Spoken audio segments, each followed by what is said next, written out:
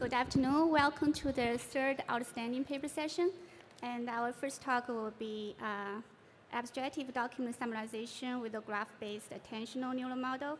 The presenter is Jiwei Tan from PKU. Uh, by the way, for the audience who wants to ask questions, please come to microphone because you are going to do video, video taping, okay?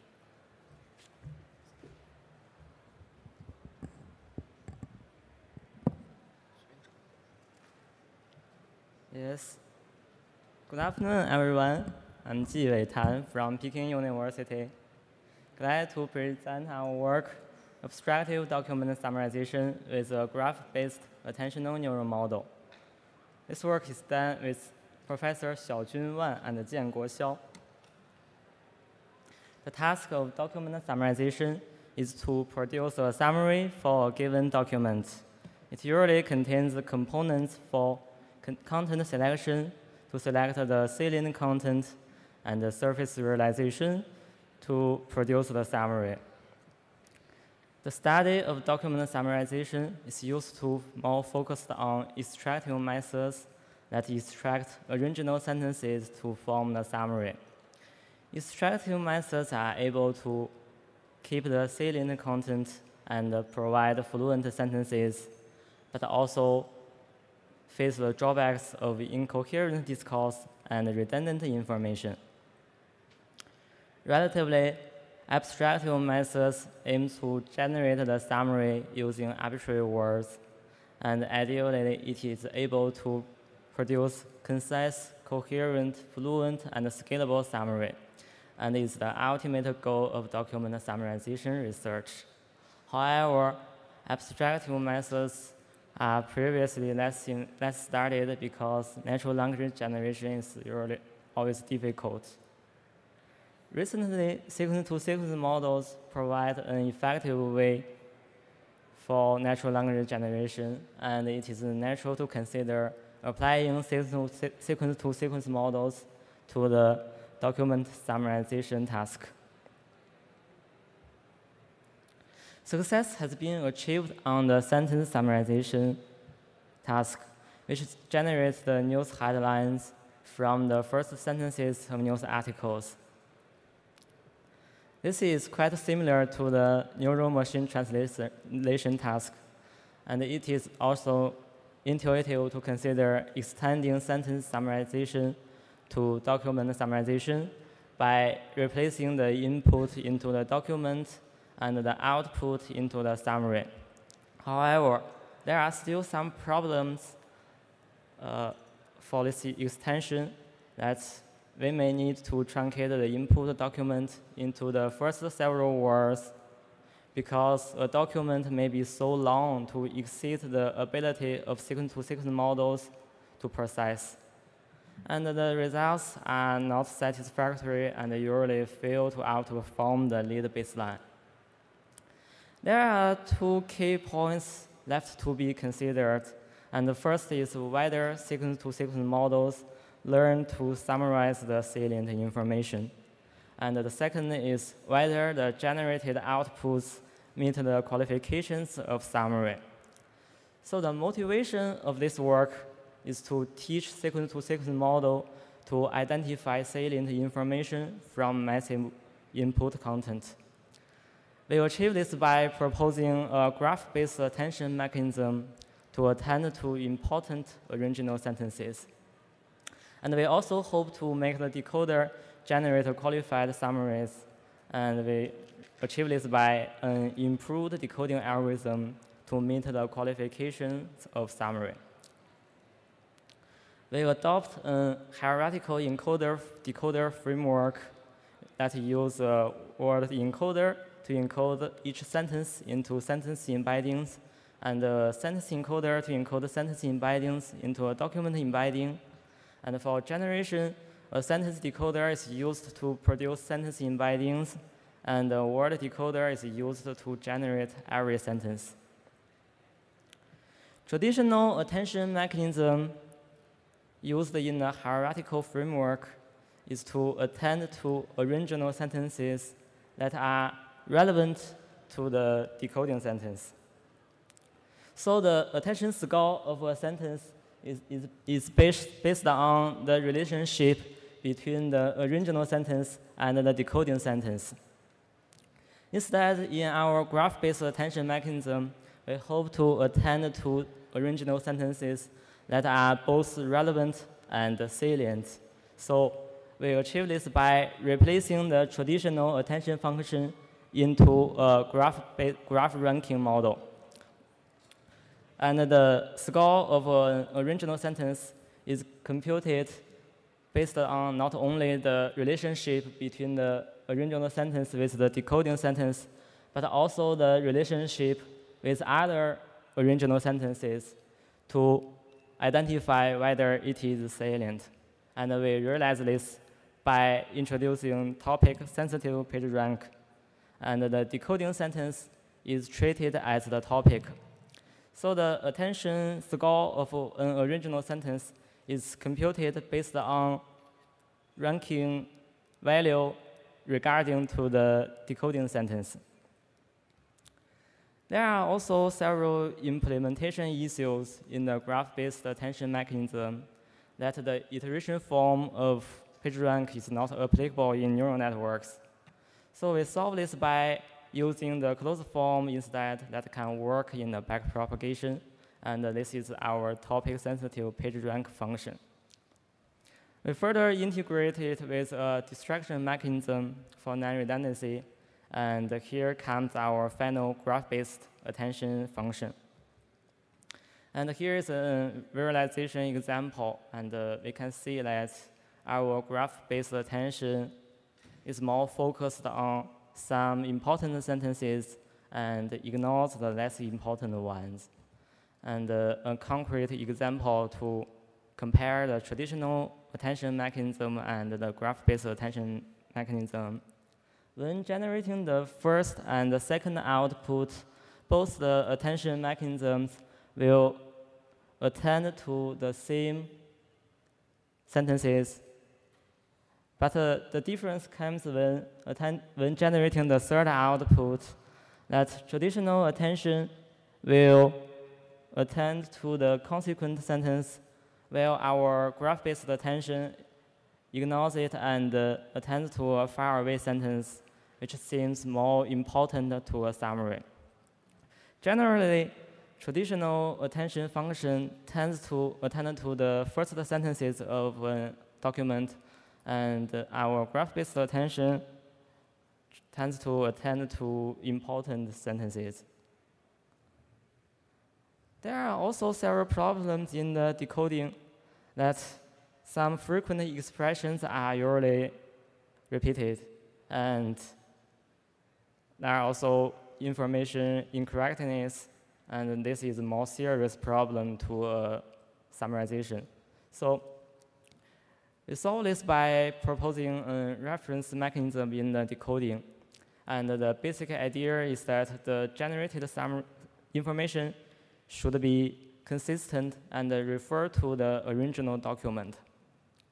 So we realize this by we realize this by the idea that a new word to be generated should improve the bigram overlap between the summary and the original document. So we realize this by adding a reference, reference term to the prob probability of the word by the decoder. And the reference term models the word's contribution to the bigram overlap.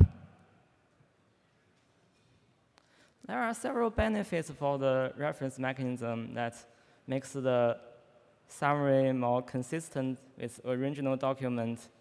So this is the requirement of correctness and also reduces the repetition, so this is non-redundancy, and also enables a hierarchical beam search algorithm, so better for coherence. Hierarchical beam search is realized by referring to different original sentences, so we can get diverse candidate sentences, while traditional beam search will usually generate similar, very similar candidate sentences. So this is the effect of reference mechanism, and we can see that it, it can bring huge improvement to the basic decoding algorithm. And here is the example, and we can find that the generated summary is also better than the baseline generation. And why is the repetition and information incorrectness? conduct experiments on CNN and the daily mail corpora, and results on and the experimental results show that our method is able to outperform various extractive baselines, including lead and uh, neural abstractive method, and also outperform neural abstractive baselines and neural extractive methods, and also another neural abstractive method. So uh, ablation examples also verify that the graph-based attention mechanism and the hierarchical beam search are effective. That without the attention mechanism, the ROUGE-1 score will decrease at about one point. And human, evalu human evaluation shows that our method is able to produce better information and conciseness, and also good at coherence and fluence. So in conclusion, in this paper, we propose we address the properties of abstractive summarization by proposing a graph-based attention mechanism to address salient information and non-redundancy, and a decoding algorithm with a reference mechanism to for better correctness, non-redundancy, and coherence. Some future work can be generating a scalable summary and uh, adding word level attention and uh, investigating using less training data. So thanks for your attention.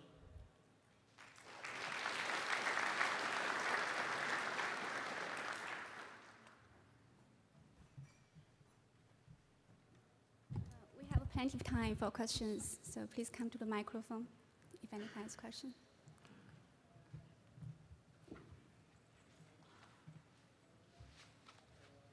Hi, thank you so much for a great talk. So Hi. I would like to ask a quick question for clarification. So in the graph-based attention, uh, how did you construct your graph? So did you consider you know, cosine similarity between sentences to construct edges? Or, and also, like, did you do that, the, the graph construction in the pre-processing process? I'm sorry, can you repeat what, uh, consider what? Uh, so in the graph-based attention, uh, how did you construct uh, the graph? Did you consider cosine similarity or between two sentences? Oh, or yes. How did you do that? Yes. So as we have the, sorry, as we have the, the embedding of every sentence, so the construction of the graph is by defining the function, at the, the function, the edge of between every two sentences. So the edge definition can be used like uh, using dot similarity, cosine similarity, or feed-forward net neural network. So we use a, a feed-forward net neural network to define the function f. This is the edge of the graph. Okay, thank you. Thank you. Hi, Hi. Um, you said that you use the principle that a new word to be generated should improve the bigram overlap between the summary and the original document. And you do this to try to deal with uh, the problems of repeating yourself or uh, copying facts wrong. So my question is, um, mightn't that encourage the system to just copy a lot from this uh, original document? And how much do you see that happening? Yes, I also say that uh, it will copy quite uh, but I, I think it's, it will be about half and half. So there are uh, quite several copies and there are also several new generated uh, content. So when you say half and half, is that about 50% of words or 50% of sentences? What are you quantifying there? Uh, I'm sorry. I'm sorry. Um, so about how much of the time do you see it paraphrasing? Like, for example, do you see any uh, paraphrasing of the original content, or is it mostly copying? Oh, I'm sorry, we just didn't do this uh, statistic, but we just, uh, I, I, just went through some generated summaries and I found uh, the copy is not so so much. Okay. Thank you. All right. Thank you.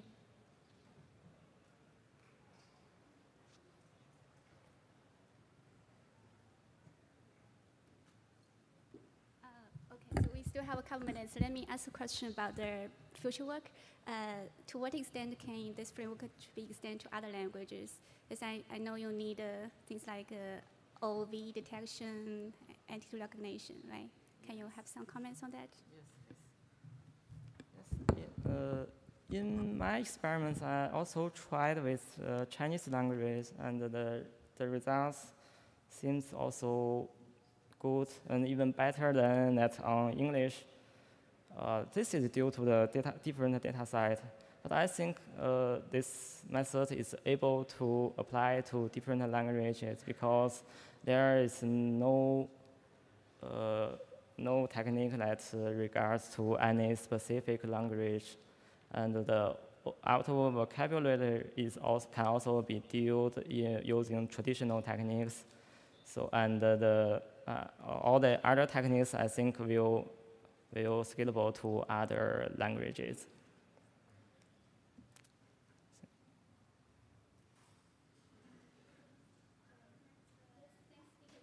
Thank you.